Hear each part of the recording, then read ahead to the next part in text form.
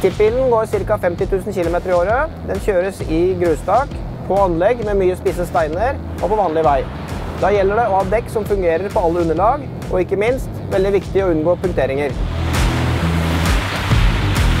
Vi har i år for første gang kjørt på Continental Crosstrack, og dekka de imponerer.